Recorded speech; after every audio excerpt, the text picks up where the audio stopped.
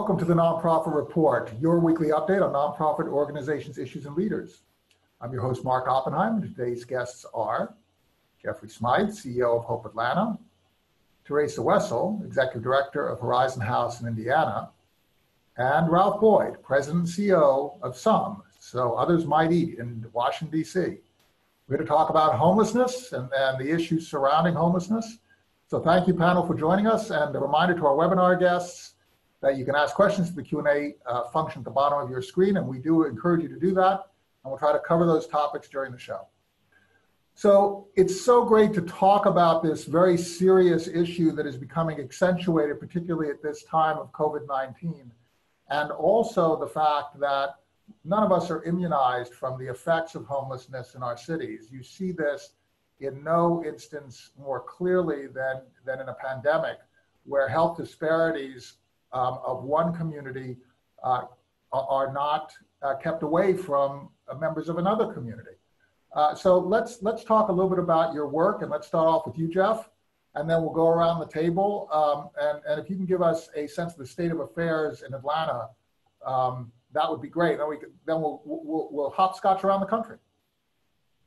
Sure. Uh, yeah. Thank you, Mark, um, and thank you for having me and uh, for helping uh, Hope Atlanta and, and our fellow nonprofits um, have more of a spotlight, particularly with the really important populations that we're serving. Um, Atlanta has uh, responded quickly um, and, and as comprehensively as, as possible as I'm seeing comparatively around the country um, throughout the crisis.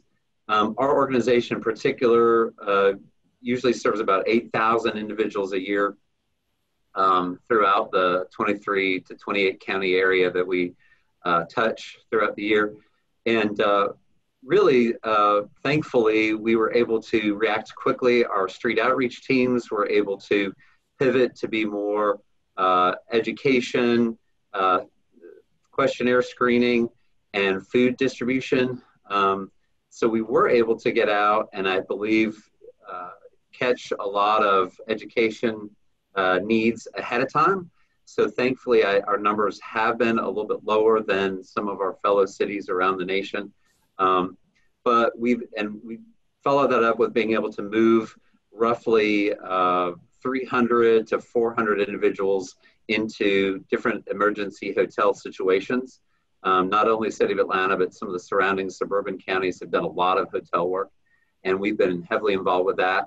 Um, one of the benefits during this crisis for us has been our street outreach team that was actually covering the airport every night. We were experiencing upwards of 200 to 300 individuals hitting the airport every night for shelter. Um, we've been able to move a good number of those, particularly the most vulnerable, the older adults, into um, hotel settings, emergency hotel settings, and are, are working very quickly, diligently on housing plans. So uh, a lot going on there. Of course, we've also um, tried to ramp up a lot more on the rental assistance and eviction prevention side of things. Um, so uh, we we uh, kind of invited the the entire city to uh, raise their individuals and families to raise their hands if they were in need. Um, and we quickly, as you can imagine, became overwhelmed with a, a list that's longer than we're going to be able to help. Uh, but we uh, we did that because we wanted to at least make sure that we were covering more than more than just city center that we were getting out um, into our broader service area and making sure that we're helping families all over uh, the metro area. So those are a few of the things that we've been up to in terms of our covid-19 um, response. You're raising a whole series of points very very important. First of all that the need is far greater than uh, than all of those that you've served, far greater. It's, it's a multiple multiplier of that. Secondly, you raise the issue of invisibility because people are homeless in addition to the shame that attaches to being homeless, um, the, um, the uh, issue of wanting to be invisible so that you're not harassed, um, the issue of constantly needing to be on the move, um, and because it's so invisible, you, you have to have staff who are savvy and track people down. And then you also raise the issue of food security, of of getting information so that you can keep yourself healthy, of providing health care, of education for, for young people because among the homeless are children um, and the different uh, uh, care needs of different populations. And then the whole issue of how civil society at large is affected, whether it's uh, travel and, and airports or parks or, or other places, uh, the whole issue of the vulnerability of people who are homelessness trying to cluster in communities with very little protection. Uh, those issues are, are endemic throughout America, and we don't pay attention, do we, Teresa? Um, thanks, Mark. No, I, I totally agree. And, and a lot of the same things that Jeff spoke about, we're doing here in Indianapolis as well. Um, just to, to piggyback on the, the street outreach, because that is something that's so critical here in Indianapolis, we have something that we call the professional blended street outreach that we coordinate. And it is about 50 individuals uh, from 20 different organizations that are out on the street six days a week and two nights. And during this pandemic, um, we, Horizon House, actually deployed about six more of our staff to go out on street outreach. And we're seeing about, right now, 200 to 225 a day um, since this has started. So since the middle of March. And really our focus was around the uh, the food insecurities as well as the, the isolation and the education and information. So we were in a, a unique position in that our city, uh, the mayor's office, the Office of Public Health and Safety, actually provided all of the food, the water, hand sanitizers, gloves, masks, the thermometers, et cetera, for the, the outreach teams to actually go out. And so they provided that for about 13 weeks uh, where we were the central point and making sure that people were not going without food because when the city was shut down, they really had no place to go to get food. So, so many of the, the neighbors, as we call our clients, would tell us we were the only folks that they were seeing for, for food. Um, so that's one of the things. We're an actual uh, day center, and so we did not close our doors. We modified our services to be able to uh, adhere to social distancing, do all the screening tests, etc. But folks can get their mail delivered here. So you can imagine how important it is to be able to still get your mail. So we really had a walkthrough service. Folks come in, get their mail, uh, get hygiene products, socks, underwear, and then a food kit to go. So uh, we just opened back up last week. So now we're offering showers, case management services, employment services, and then next week we'll open back up for laundry. So we see about 6,000 people a year, and actually our numbers are up. Um, so even without the the wave of, of evictions that we are so fearful that are going to happen here later this summer, uh, our numbers are up already nine percent so far this year. Uh, so even through this pandemic, we are still seeing more people, and we think those numbers are going to continue to increase over time. We also have a uh, permanent supportive housing uh, team that we have about 200 people that are housed that even though they're housed they were still feeling that same isolation that fear of unknown and that anxiety. So we changed to you know tele you know doing telemeetings but but i think that even though those folks are housed in permanent supportive housing that anxiety and that fear still resonated with them. And you can go from city to city to city um, suburban areas, rural areas, homelessness is spread across the United States as if it was smooth peanut butter, right? It's it's it's all over the place, and it's all over the place in equal proportions in uh, towns like Indianapolis, in places like Atlanta. DC is only well, it's less than 70 square miles. And you have a, a very significant issue. It's our nation's capital, it's where the seat of government is. You would think that at least in DC, that there was uh, more help and those people who are living with homelessness are depending on nonprofits like like yours, Ralph. Talk a little bit about what you're confronting. Yeah, Mark, you're absolutely right. I think um, one of the realities uh, that we're coming to grips with as the nation as a whole deals with what I'll describe as our twin crises of COVID 19, along with the very visible issues of racial inequity um, and injustice. Um, we're realizing as a nation um, for some people, perhaps for the first time, are reflecting and introspecting about it in ways they never have before. But it's very clear that these twin crises disparately impact the poor and, and the homeless and those who are at risk of becoming homeless and black and brown people who are disproportionately represented in those in, the, in those groups.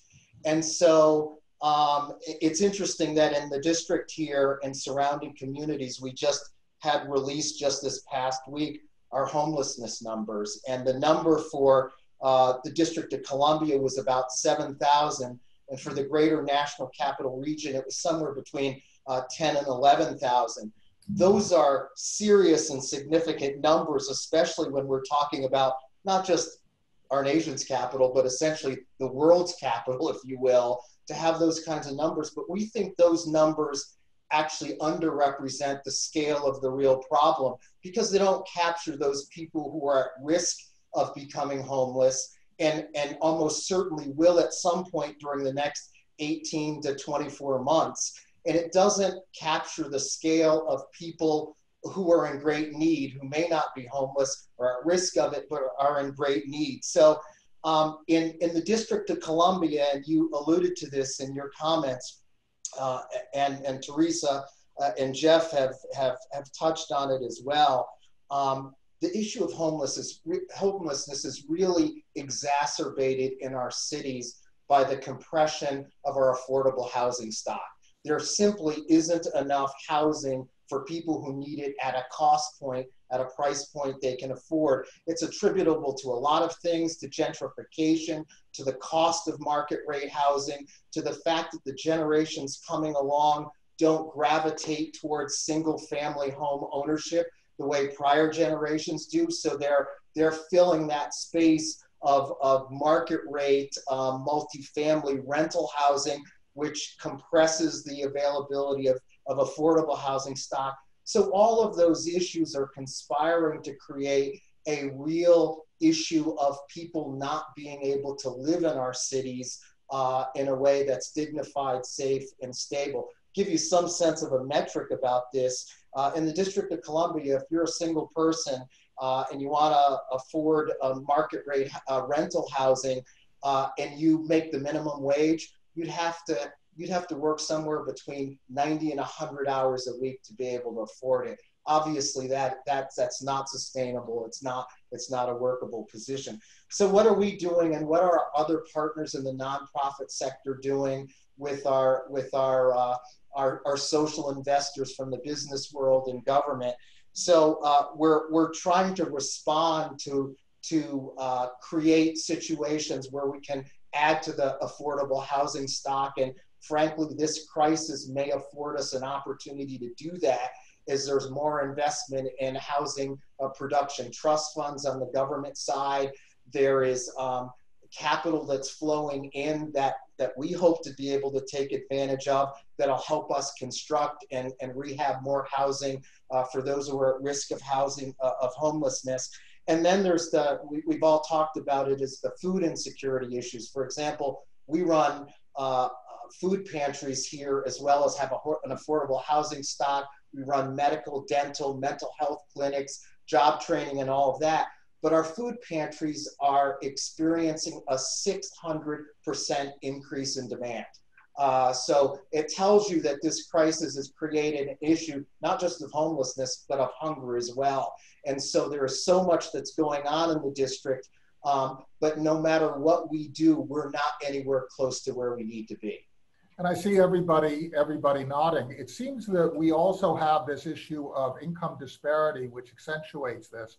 Um, we, we have had this trend in the United States um, of, of moving toward what's mine is mine and uh, devil take the hindmost. And uh, that uh, uh advantages people who are educated, people who are already wealthy, people who already have resources that they can invest to, to uh, continue that trajectory there's there's nothing um, there's nothing wrong with that in theory, but in fact, what ends up happening is that the people who who are required to run these cities, who need to live within commuting distance to work in these cities, can no longer live in the in these cities. So you end up with people with means um, having uh, these these magnificent uh, cities to live in, and the people who make them run are always on the cusp. And what's happened with the coronavirus and with unemployment and so on, we have huge swaths of the population tipping into insolvency. So now we have these magnificent cities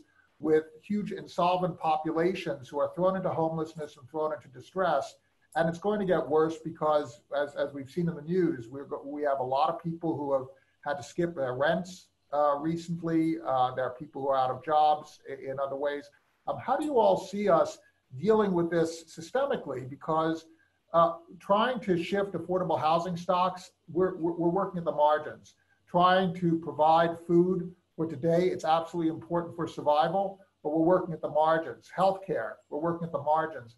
Do you all see a way that we can work our way toward a, a systemic reduction in this issue?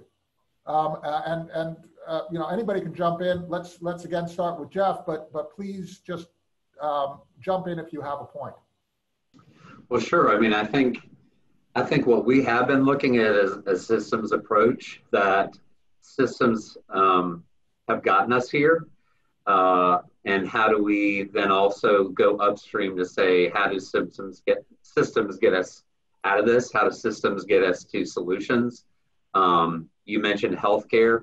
Uh, we have tried to be much more a part of healthcare conversations. There's a, uh, a collective impact group in our, our city with a number of hospitals uh, that we've tried to be more present with and involved with to have those important discussions around the connection between health and housing.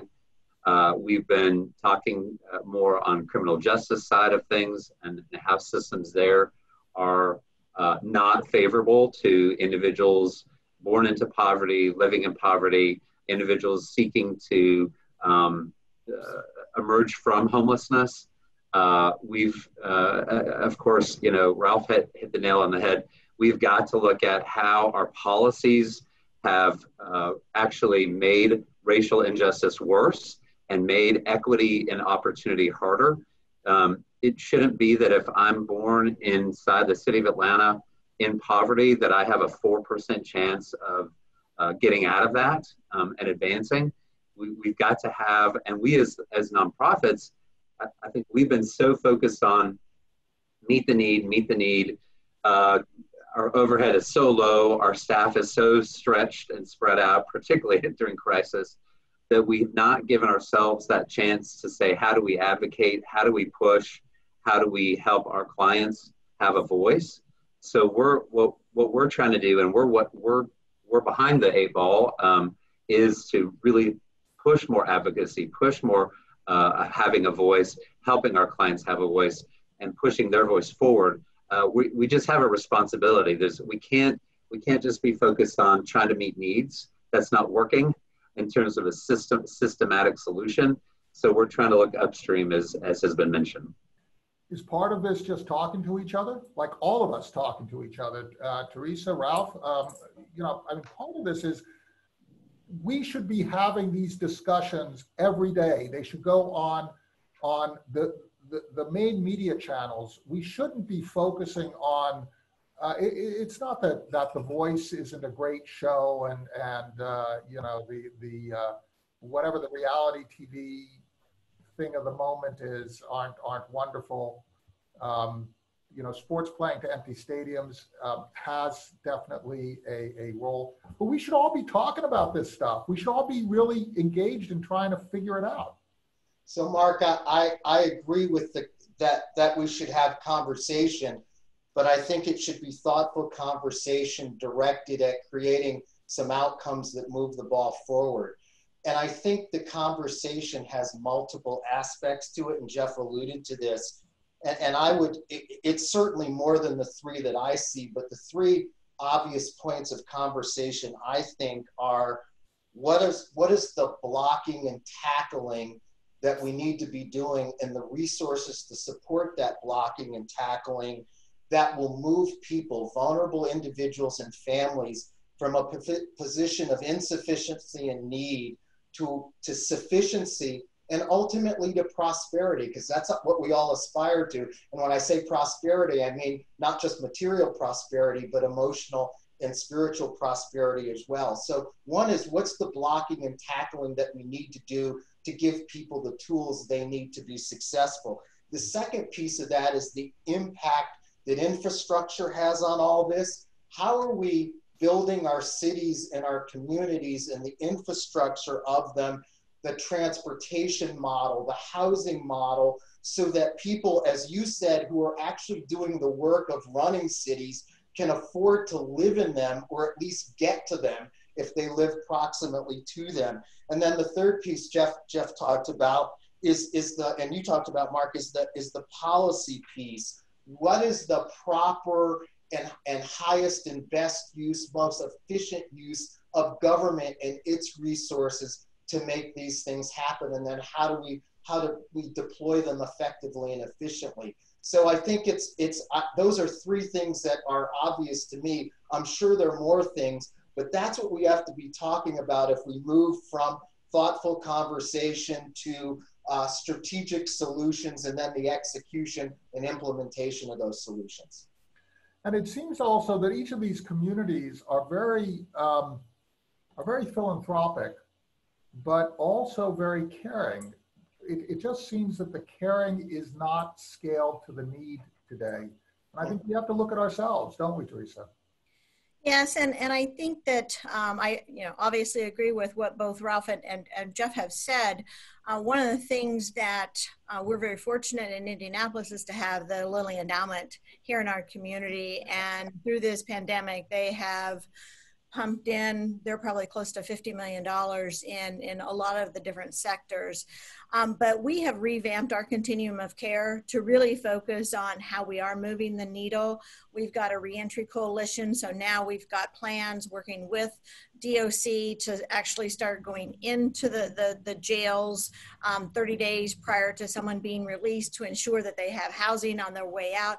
So there are a lot of those i'll say um, organic discussions that are happening, but the collaboration is increasing, whether it's around domestic violence, whether it's around HIV AIDS, whether it's, um, you know, someone, whether you know talk about the racism and, and the, the injustice there right? So one of the things that we're really working on closely here is you know what piece of the pie do each of us have? So instead of every one of us trying to spread so thin what are we going to focus on? So let's say we might be the, the best in permanent supportive housing. There's another agency that is the best in rapid rehousing. So I think the approach that we're taking in Indianapolis is starting to shift that and having um, this administration, uh, Mayor Hogsett here, he has now put so much money behind this. We've never seen an administration do that.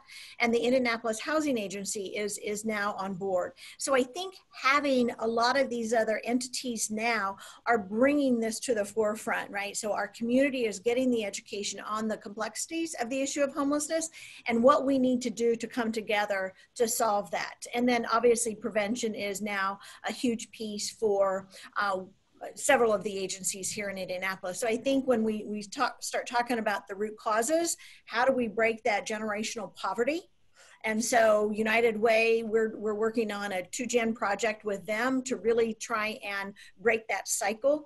So we're coming at it from many different aspects and we're starting to see that needle move even if it's in a small way, but it's moving in that direction. And those conversations are so critical. Mark, if I, I may, I have a, I, I'd like to make a comment with respect to what Teresa just said, and that, then ask my colleagues a question that I that I has percolated up as I've been listening. So Teresa, it's, a, it's interesting that you say what you said about collaboration amongst nonprofits and service providers, focusing on who's best suited to do what.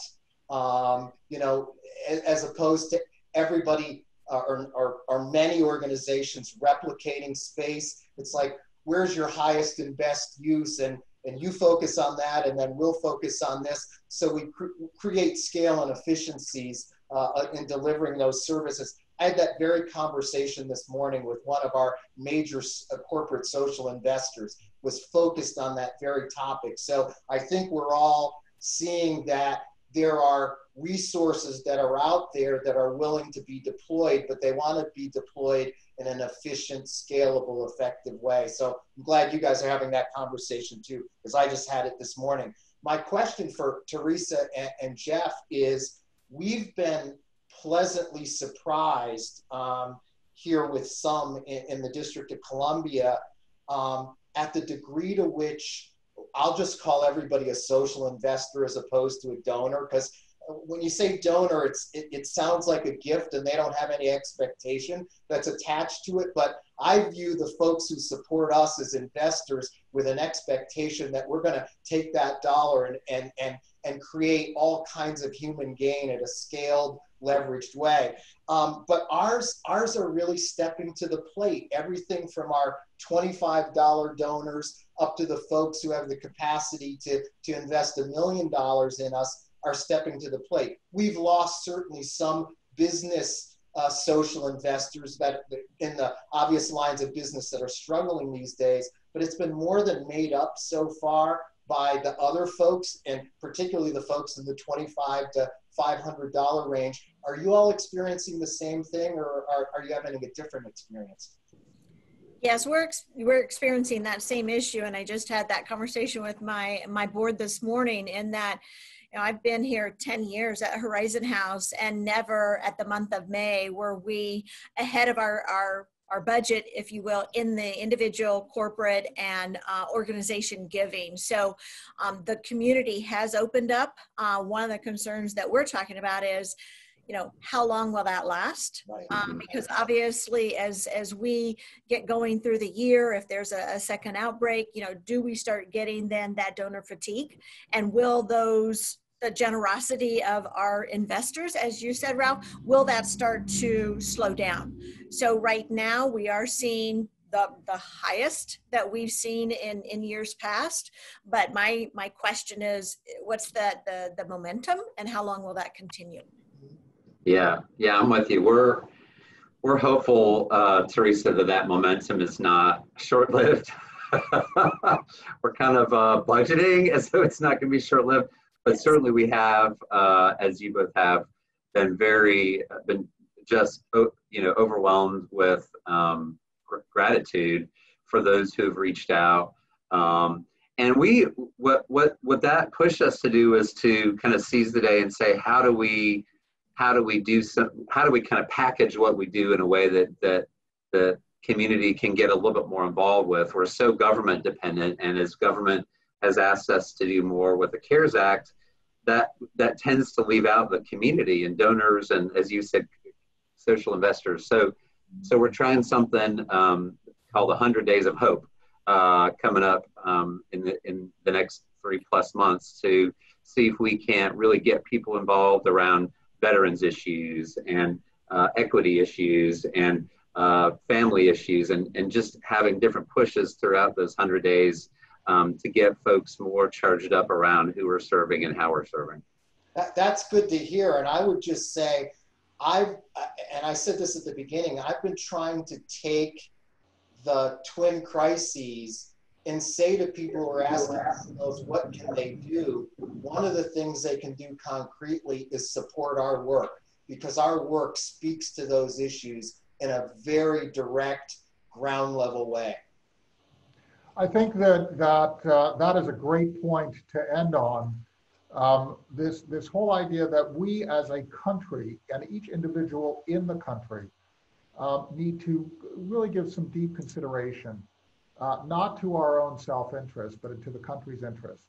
Uh, Kennedy and other uh, of the uh, of the presidents who led the country through very difficult times, whether it was Roosevelt or, um, or uh, uh, Reagan, from any party, um, they always asked us to think about the country, to think about strengthening America. Let's each individual uh, think about that question. What can we do? Uh, what must we contribute in order to end up with a stronger America?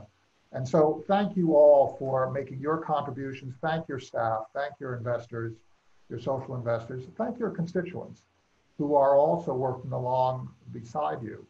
um, and helping you uh, in, in their way uh, to deal with these problems. Uh, that's the nonprofit report.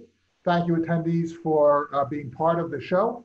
And uh, we will pick it up next time with another discussion on how to strengthen civil society here in this country. Stay safe, everyone, and thank you, panelists, for participating.